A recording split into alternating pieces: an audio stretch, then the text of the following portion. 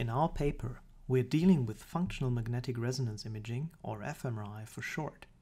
This method results in a 3D view of a person's brain, but the data are actually 4D because the state of the brain varies over time.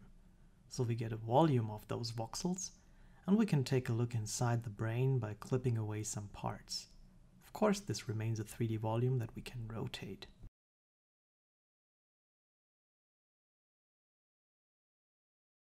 We model each time step of such a volume as a cubical complex.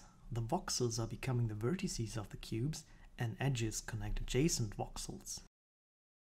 We now start tracking topological features such as connected components, cycles and voids as we filtrate this cubical complex according to the fMRI activation function values. From this, we obtain a persistence diagram, that is a descriptor containing information about the creation and destruction of each topological feature in the data. By calculating a summary statistic over the time axis, we can summarize the topological activity of each input sample. We use this to predict the age of participants in our dataset, for instance.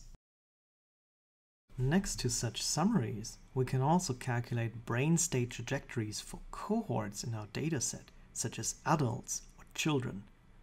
We observe that their topological activity is markedly different while watching the same movie indicating that adults and children process the same stimuli quite differently.